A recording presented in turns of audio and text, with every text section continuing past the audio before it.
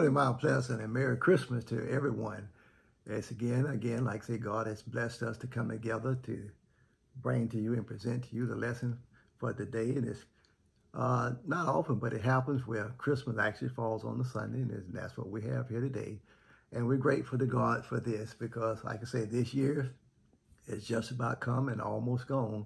That God has taken us through another year. But we just thank God for each and every day and uh, certainly give him the glory, the honor, and praise for all that he does for us. Let us pray. Eternal God, we thank you once again for this opportunity. Thank you again for the blessing, O oh Lord, to be able to understand that a Savior has come into the world, one who died for us that we might have life and have it more abundantly. And we pray, O oh Lord, that we as Christians will carry this gospel message wherever we go, that men and women and boys and girls will have that same opportunity as we did to accept Christ as their Lord and Savior. Thank you, Father, and bless us as we go forth in this lesson. And thank you, Lord, for bringing us to this point in our life and through this year. We give you the glory, the honor, and praise. In Jesus' name we pray. Amen. Our lesson today will be coming from a Luke, first chapter, uh, the 46th through the 55th verse. And the lesson title is According to the Promise. And we're going to see the promises that God has blessed us with through our Lord and Savior Jesus Christ. And we want to look at the response of uh, specifically Mary, his mother, in this uh, passage of Scripture. And just helps us to understand what we need to do as Christians as well, too, when God blesses us, how we need to lift him up and give him the glory, the honor, and praise for all that he has done for us as well, too. So let's look at this Luke's version of the Christmas story or part of the script, the early parts of the Christmas story, not necessarily Christmas story that he uh, presents with Christ being born, but it helps us to understand how things got um, uh, came about and how it started, even though a lot of it's not in my lesson. But we will see Mary, his mother, uh, being grateful for the privilege of being able to carry the, the Christ child and for her cousin Elizabeth as well, too. Before we get into our lesson, let's read a little bit of a background so it kind of helps set the tone for where we are and what's going on so we'll know where we're at when we get into our lesson. It says, Mary sang the beautiful words of today's scripture passages while she was visiting Elizabeth, her relative. Elizabeth and her husband Zachariah was an elderly, childless couple. They had prayed many years for a child until they reached the age where they no longer expected God to answer this request. Both Elizabeth and Zacharias were the tribe of Aaron, so Zacharias was in rotation for serving at the temple in Jerusalem. After Luke's introduction to his gospel uh, records, he plunges right into the story of the birth of John the Baptist. It was Zacharias' turn to serve at the temple, a great privilege for a godly Jew. As he went in to burn incense, suddenly the angel Gabriel was standing beside the incense altar.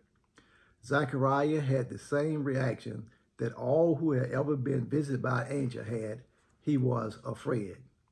After telling him not to be afraid, Gabriel told Zacharias that God was answering his and Elizabeth's prayer for a child, a very special child that they were to name John. Unfortunately, Zacharias found this hard to believe, and so he became speechless until after the birth of John, their baby. John grew up to be the prophet we know as John the Baptist or the baptizer. Word must have traveled in spite of lack of modern communication devices because Mary heard that her elderly relative was now pregnant. Mary was on the other side of the age spectrum, probably only around 15 years of age, the age where women in those days usually got married. Gabriel had also visited Mary to tell her that she would be pregnant in the most miraculous way ever. Mary was going to give birth to the Son of God, and this would be a virgin birth. Shortly after Gabriel's announcement to Mary, she hurried to see Elizabeth about 80 mile, as about an 80 mile hike. As soon as she walked into the door and Elizabeth heard her, Baby John in her womb leaped in praise at the presence of the baby whom was growing within Mary. At this time, Elizabeth was already six months pregnant, while Mary's pregnancy had just begun. After Elizabeth had finished praising God for the coming Savior, Mary began singing a song of praise to God that reminds us very much of Hannah's song of praise when she became pregnant with baby Samuel in answer to her prayers. The similarity of Mary's prayer to others in the Bible make us think that Mary studied scripture and meditated upon that even in an era when women had little access to formal education. So this kind of sets us a story, uh, uh, sets us a, a base uh, for the story uh, as we begin to get into our lesson. Kind of helps us to understand what has happened to this point. The angel has visited Zachariah and Elizabeth, elderly uh, relatives of Mary. Uh, of course, the Bible, if you read the whole first chapter of Luke, all this, you can see all this in the first chapter of Luke, that uh, Elizabeth was barren, and um, and so God still answered their prayers, even in their old age, uh, because we can see no matter how far we go uh, or how old we are, God can still use us in his plan if it's his desire to do so. So God has blessed Zachariah and Elizabeth. He has blessed Mary. Mary is now at the home of Elizabeth and Zacharias and, and just confirming all that the angel has, has said to her and what she has heard. Now we're going to see Mary's song of praise that she gives to the Lord for all that has happened. So this is where we open up in our lesson today uh, with Mary in the home of Elizabeth and uh, giving praises to God for all that has done. Let's look at verse 46 and verse 47. And it says of Luke, and it says, And Mary said, My soul does magnify the Lord, and my spirit what has rejoiced in God, my Savior. Note, in chapters 1, 39 through 56, it is labeled as joy. Now that Mary knew that she was to become a mother and that her kinsman Elizabeth would give birth in three months, she wanted to see Elizabeth so that they could rejoice together. Joy is the major theme of this section uh, as you see three persons rejoicing uh, in the Lord. First, the joy of Elizabeth, we see that in verses 39 through 45. Second, the joy of the unborn son, John, verses 41 and 44. And third, the joy of Mary, verses 46 through 56, six, which is our lesson for today. Mary's joy was a joy that compelled her to lift her voice in a hymn of praise. The fullness of the Spirit should lead to joyful praise in our lives and so should the fullness of the word. Mary's song contains quotations from and references to the Old Testament, which we just mentioned, scriptures, especially Psalms and the songs of Hannah in 1 Samuel, 2nd, 1 Samuel, 2nd chapter, the first through the 10th verse. Mary hid God's word in her heart and turned it into a song. The song is called the Magnificat. Her great desire was to magnify the Lord, not herself. She used the phrase, he hath, eight times as she recounted what God has done for her, for, for these three recipients of his blessings. And let's look at the first recipient as we get into our lesson of what God did for Mary. And this is what she's going to talk about uh, now as what for what God did for Mary. So so Mary's sex example for all of us is, is in that to the point that when God does something great for us, as he has done for Mary, because we got to realize Mary's going to do something that no other woman on the face of this earth will ever do. And that's to give birth to the to uh, the Christ child. And that was a great honor. And it was a very great honor. And and and, and just understanding uh, and we'll pick this up in just a minute, how she felt about herself and how she looked at herself not being worthy or handmaid. Uh, then looking at her cousin Elizabeth, who was very old in age and past, no doubt, the childbearing age, but God still, and, and she was barren at, at that, but God still fixed it. So both of these women still could be blessed and still could be part of the plan of God in a major way uh, when it comes to our salvation. So let's see what God did um, for Mary.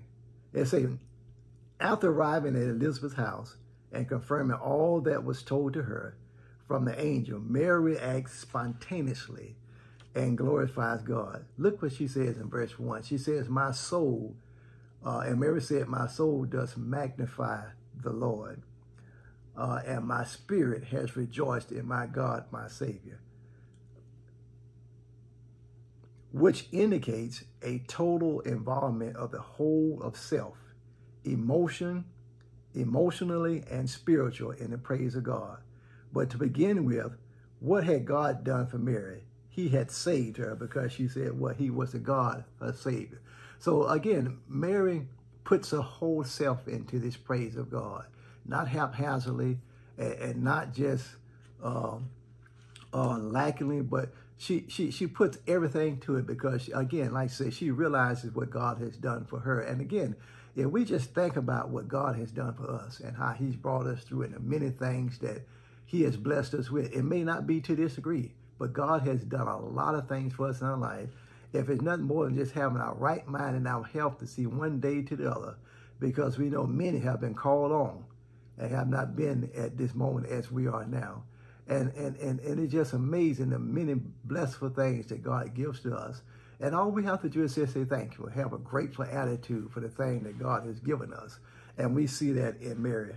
So she said that her soul does magnify the Lord because now she's pouring everything that she has from a spiritual and emotional side into giving God the glory and the praise. And then she says, my soul. And what is the soul? Soul generally means self or inner being.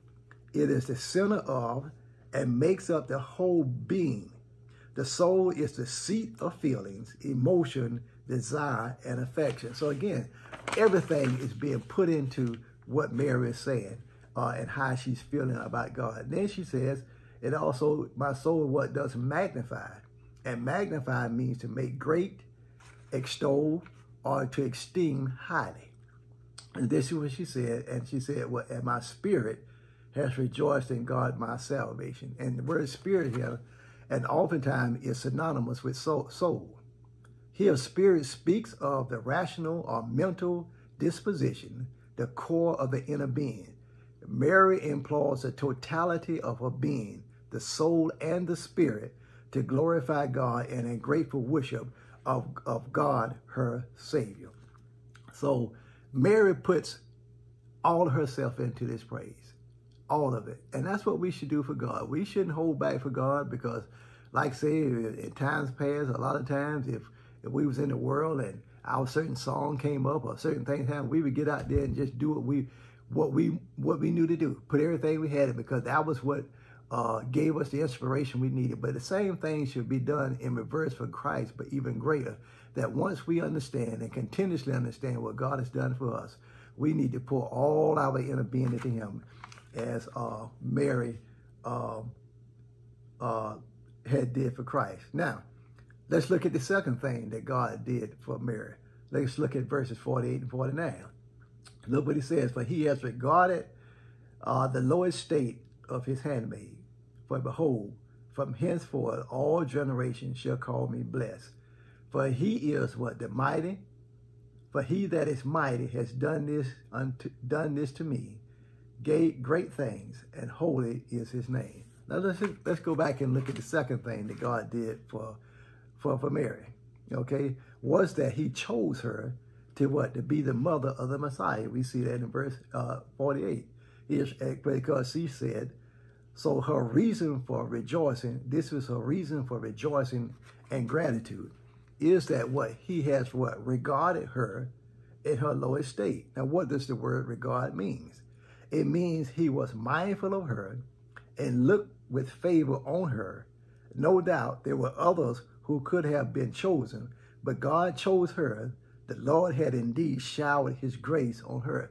So Mary know that this was a very special honor. And like it's like the script, like it was just suggested, scripture never said that Mary was the only person that could have received this, but God just chose her for whatever reason it was to come through her. So it it, it just made Mary feel so great that God uh, found favor with her among the many people, no doubt, that could he could have chosen. Uh, but he passed by and gave it to her, this great honor. And then, like I say, to have this great honor that no other person would ever have in this life. And then she goes on to say, uh, not only did he regard her, but he said in low estate. And the word low estate means insignificant person. So Mary realized that she was not a very important person of status and clout or anything like that. But God still uses the high, but he also still uses the low people of this life, or those who who society does not look at as the important, uh, uh, those who who bears the most, uh, brings the most to uh, to life and what it can offer. God sometimes takes a nobody and turns them into a somebody, and that's why Mary said that she was of low estate. And then she also uses the word that she was a handmaid, and the word handmaid, uh, which means female slave. This is the lowest position one can get in the Jewish custom. Women and slaves uh, were disregarded as the lowest class in the Jewish community of the day. They were relegated to the background, to the place of dishonor. To be both women and slave uh, makes her place even worse. Society has no regard for her. So again, it helps us to show that God reached back and got somebody who even society did not honor or respect, which is a woman. Woman had very little clout or very little voice, and matter of fact, none uh, in the old in, during biblical days. And in many ways, they were seen as just property of men. And that's the sad part of life that women have had to struggle throughout history because of the narrow-mindedness of men who always felt like the women were there for them and that was it. But God has taken this lonely, lowly little girl and he is, trans he is transforming her life to, to be a very beautiful and wonderful thing to, to the point that she says in the latter part of verse uh, 48, that henceforth all generations shall call me blessed. That's what happens when God puts his hands on you uh, and, and blesses you. Nobody can take that blessing away. So she says, I'll be blessed to all generations, She'll call me blessed, which means every generation will acknowledge her as the one blessed and most fortunate woman among all women as the mother of the Messiah. Mary is uniquely blessed. No one else uh, will have that blessing. And, and, and then, like I said, it takes a certain kind of person also to be able to be in that position too, to understand that nobody else would be have the same honor as as she does.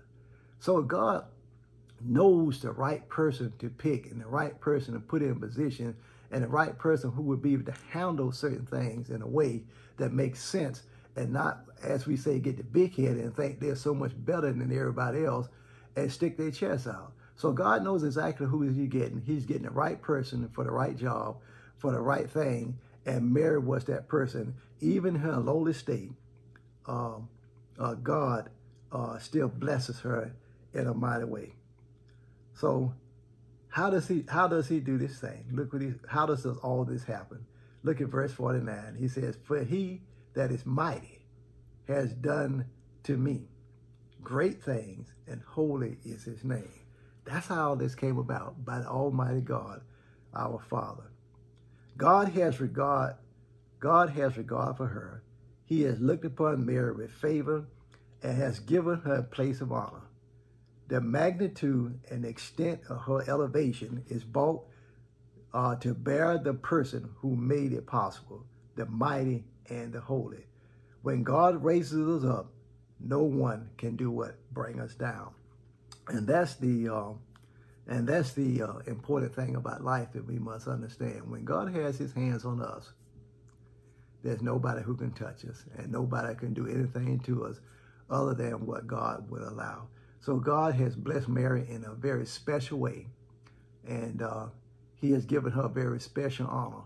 But again, like we said, it takes a very special person to understand those things and be able to receive them in a way that makes sense and not get big-headed and not feel that they're way above everybody else. Because just like anybody else, she still has to accept Christ as Lord and Savior uh, of her life. Verse 50. let's look at the rec second recipient uh, of the blessing, what God did for Israel for us. Verse 50 says, his mercy is on them uh, that fear him from generation to generation. Okay? Uh, fear. What does the word fear mean in verse 50? Fear meaning those who venerate or reverence him. The fear of God is verified by the people's obedience in the keeping of God's law. God's mercy is according specifically to the people of Israel in keeping with God's promises, which started with Abraham. So the correct response is, uh, how do these things happen? Because of the respect and the fear and awe and the understanding that we have with God and what he can do. When God reaches out and gets people, again, he gets those persons who are in a certain position in life and who can fulfill this plan in the best way.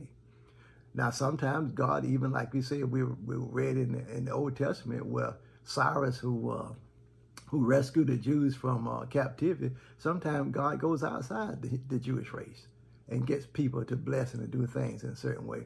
So it helps us to understand in all situations, God can get anybody, male, female, Jew or Gentile, wherever your position, high or low in life, God can take you and use you uh, in a way that makes sense for his plan. So, uh, so, so God took Mary and God blessed him because why? Because he's mighty and has done great things. And what she says, and holy is his name. Let's look at verse uh, uh, verse 51 through 53, where it says, Mary names three specific groups to whom God has been merciful. The helpless, the humble, and the hungry. Let's read verse 51. He has showed strength with his arms. He has scattered the proud in the imagination of their hearts. So verse 51 says that he has showed strength with his arm and has scattered the proud. The word scattered is figuratively used here and has a military or an agricultural idea in view. In its military sense, the strong, proud, army which uh, relies on its own strength without God is brought to nothing and is driven and dispersed by a stronger force. In its agricultural sense, scattered refers to the winnowing, winnowing process where the chaff is separated from the wheat and is blown away or, or bored in the air by the wind. So we know in that process, when you throw the wheat up in the air, the lighter chaff will fly off and the heavier wheat will fall to the ground. So it's a separation process. So God, God does this. He shows strength with his arm and he scatters the proud in their imagination and, and in their heart. So God shows how he takes, like I say, there's three specific groups to whom God has shown mercy. The helpless is one of them, what we just read in verse 51. So anybody who is taken advantage of, anybody who uh, has been belittled or, or have gone without because others, God can turn this table around. And he can make this thing fit for those who are on top. Now they become on bottom, and those who are on bottom, they can rise to the top. So he helps the helpless in verse 51. Verse 52, he looks at the humble. And it says, he has put down the mighty from their seats. Verse 52, and exalted them of low degree. The common people of that day were almost helpless when it came to justice and civil rights. They were often hungry, downtrodden, and discouraged. And there was no way for them to fight for the system, fight the system, a secret society, uh, fight the system. A secret society of patriot Jewish extremists called the Zealots used violent means to oppose Rome, but their activity only made matters worse. Mary saw the Lord turning everything upside down. The weak uh, be dethroned, the weak the dethrone the mighty, the humble scattered, the proud and nobodies are exalted, the hungry are filled, and the rich end up poor. The grace of God works contrary to the thought and the ways of the world system. The church is something that is bad. The, the, the church is something like the band of men that gathered around David. And we'll see that in 1 Samuel 22 and 2.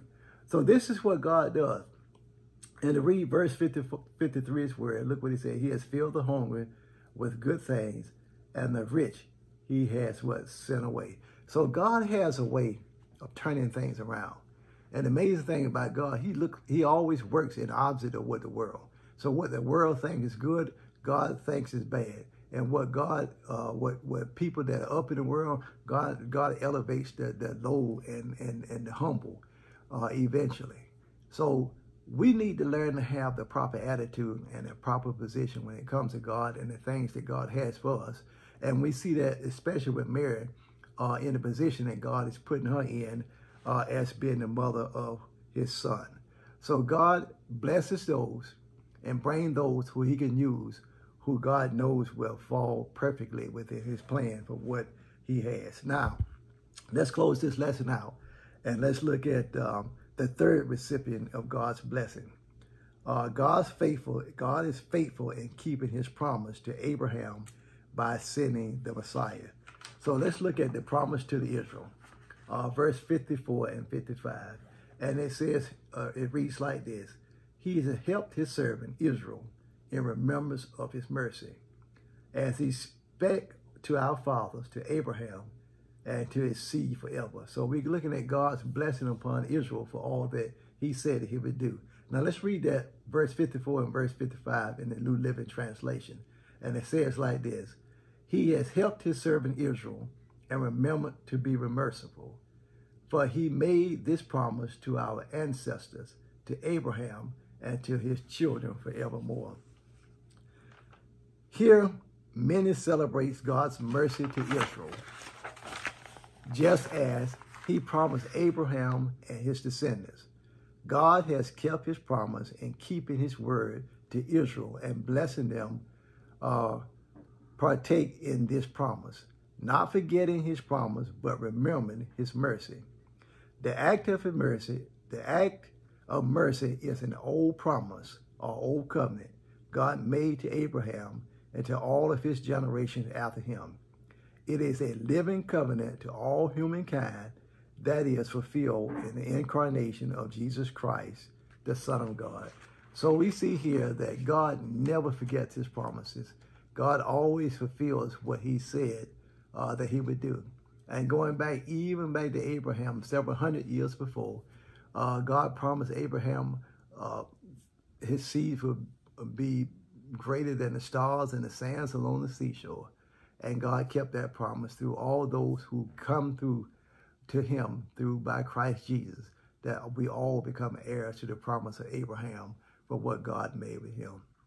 So we see God gets people and uses people who has the proper attitude and who can receive his blessings and do the things that God intended uh, for us to do. Now, does that make us perfect? No we still all fall short. We still do things that we shouldn't do, but we but God still knows the person that He can use, and that uh, He can have uh, for His plan of salvation.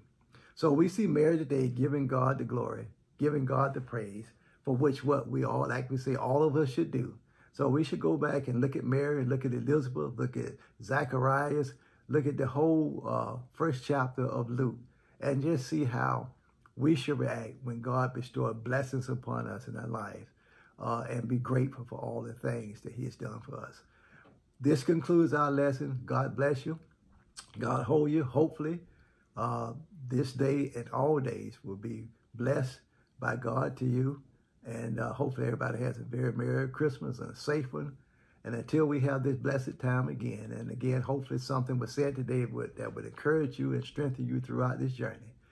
But until we have this time again, if it be God's will, you take care and God bless you. Thank you. If you enjoy this program, call us right now, 404 688 6680, or send an email to info at mountpleasantatl.org. Mount Pleasant Baptist Church is a congregation full of life and love for everybody. Would you consider sowing an offering? Whatever God lays on your heart to give would be a blessing to the ministry. Thank you for your support. Mount Pleasant Baptist Church, Atlanta, Georgia.